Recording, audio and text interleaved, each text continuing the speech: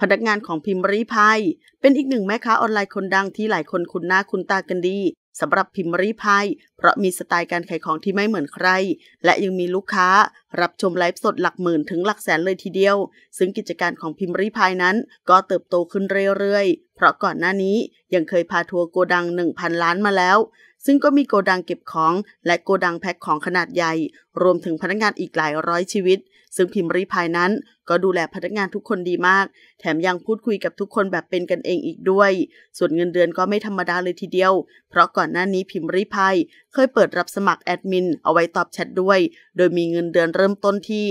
13,000 บาท ถึง 20,000 บาทเลยทีเดียว ส่วนรายละเอียดนั้นก็น่าสนใจมาก เพราะมีเวลาทำงานตั้งแต่ 9 นาฬิกาถึง 18 นาฬิกา โดยมีหน้าที่ความรับผิดชอบแค่ 1. ตอบแชทให้คำแนะนำหรือคำปรึกษาให้กับลูกค้า 2. สร้างความประทับใจในการบริการให้กับลูกค้าอย่างสูงสุด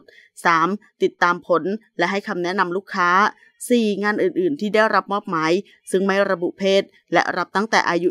22-30 ปี แถมยังรับตั้งแต่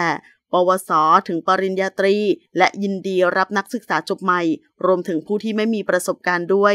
เรียกว่าคุณสมบัตินั้นน่าสนใจมาก ๆ เลยทีเดียว ขอขอบคุณข้อมูลจากขอบข่าวขอบคุณค่ะ